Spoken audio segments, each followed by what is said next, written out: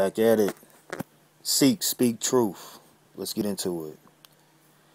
Recently, I just heard about the uh, the robocalls.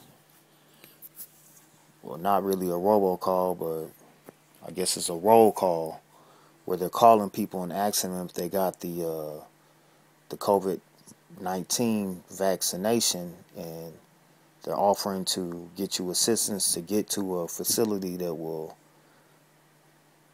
inject you, shoot you up, give you this shot. You know, they want you to to uh, volunteer to come and get shot.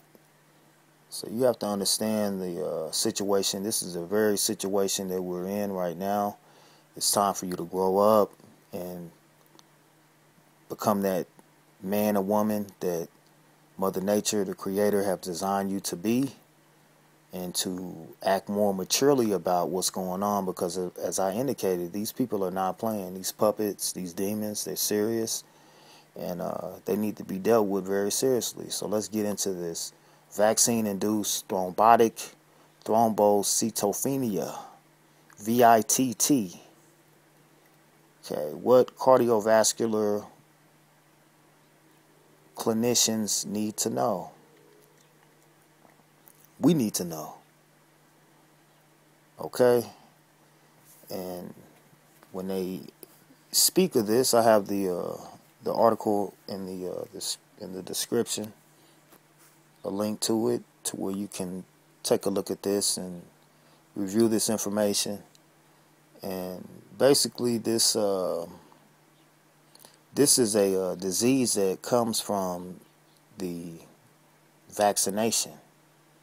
They say that it's extremely rare, which I would I wouldn't trust anything that they say. Uh, but I would pay attention to what they say and knowing that they are going to give you some truths with a lot of lies so we know that this is real. But when they say it's extremely rare, I will beg to differ. Okay, it says in extremely rare cases, Johnson & Johnson, Janssen and AstraZeneca COVID vac COVID 19 vaccinations may cause vaccine induced thrombotic thrombocytopenia, VITT, a condition characterized by simultaneous acute thrombosis and thrombocytopenia. The condition is similar to heparin induced thrombocytopenia. Specific risk factors for VITT have yet to be determined given the extremely low case count, though presentation seems to appear between 5 to 28 days post vaccination. Patients should be reassured that the benefits of vaccination against COVID 19 far outweigh any potential risk. And when they tell you things like that, you will have to question these people. You know, they're saying that they don't have enough information about this disease that comes from taking this vaccine, but I would I would think that they do know and they're just not trying to present all of the findings. Okay, because they should have known this before they started rolling this shit out.